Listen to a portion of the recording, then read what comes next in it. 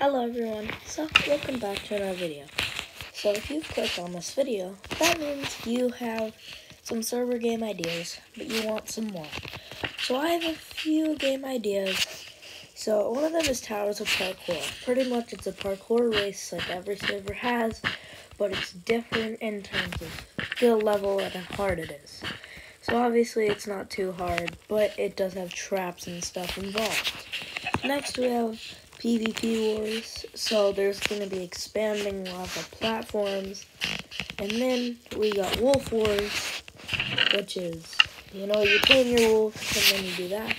Next, we got Last to Fall In, which I find interesting. It's probably my favorite game that I invented. So it's pretty much this. You can't hit each other, but there is a five second limit until you have to move so otherwise it's gonna instantly drop you. And then we have little like server fun things in the slime basketball court. Or we also have a couple other games to show you first. We got bow and arrow bullseye, which I will demonstrate because I've been demonstrating. So we come here, go all the way over here, That'd be the most points, and then there's just like easy things to hit.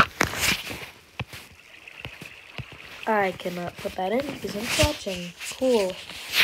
So then we got the server stonks, like read the sign.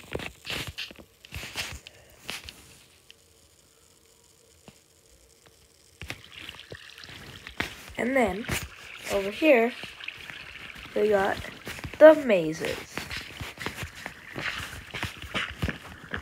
And then there's like easy ways to get out. Some of them can be harder if you want to make it that way. And then we have one last thing to show you. The Drop of Doom. If you're interested in killing your participant, then do this. And then kill them.